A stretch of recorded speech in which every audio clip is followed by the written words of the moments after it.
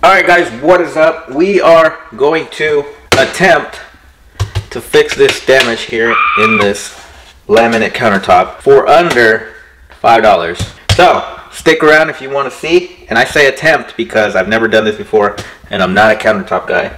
But we're going to attempt and see how it comes out looking.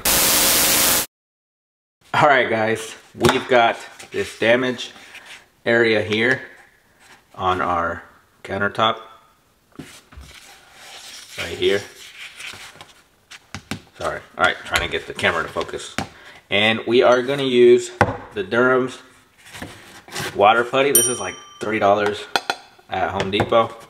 We're going to use a little spatula and just somewhere to mix this stuff. And we're going to try to patch this. It says it works for wood, metal, plastic, so it's like an all-purpose all around. We use this for our video where we did, where we had the the scratches on the door from the dogs and it worked great so we're to try it out here. Like I said I've never done this before. There's probably there might be a way to I'm sure this this stuff comes up and you can buy the sheets and you can put it on there. But like I said this is a rental. Our budget is tiny here. And so we're just trying to fix this and then we're gonna paint over it with the paint for the countertops just use the spatula to scrape off the little pieces that were already bubbled and broken um, as much as possible.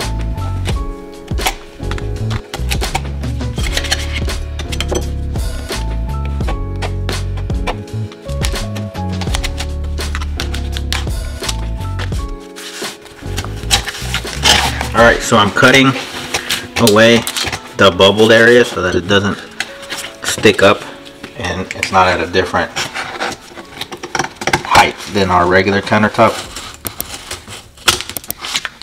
There we go. So we are making it a little bit bigger. This was the original size. We made it a little bit bigger because it was bubbled up.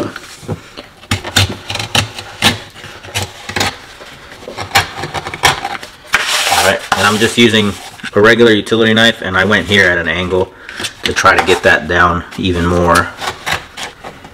Alright, and then under here is just like wood fiber. I don't know if they set something hot on here or what what happened, but that's it. Let me wipe this off and then we will mix the putty. Alright guys, first you add the powder, then you add some water, and you just mix it up until you get a good consistency. Um, I like to mix this up pretty thick uh, to where kind of like joint compound where you have to mix it, it doesn't drip, um, anything like that. So not too watery and then we just put it with the spatula on our repair went a little bit bigger than um, the actual size of the repair and the main thing was trying to get it as smooth as possible so that the sanding would be minimal alright guys we got it repaired you can see the area right here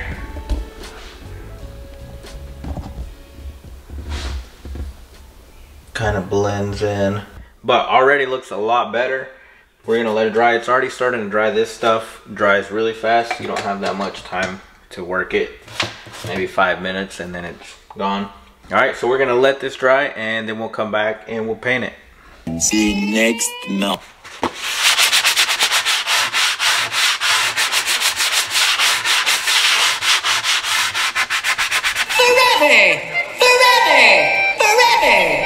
One eternity later. Alright guys, yeah, so after a lot of sanding, we painted with the countertop paint.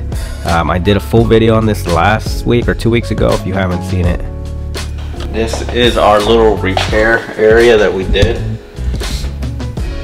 Alright guys, and this is after two coats and we did one more coat on this after this.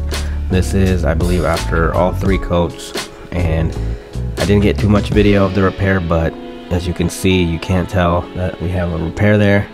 Up close uh, you can tell a little tiny bit but compared to how it was all burnt and caking off it looks completely different and better. All right in total i spent four dollars and some change on the repair and the paint was like 20 bucks but that's a separate video guys. But as always thank you guys for watching and we'll see you guys next week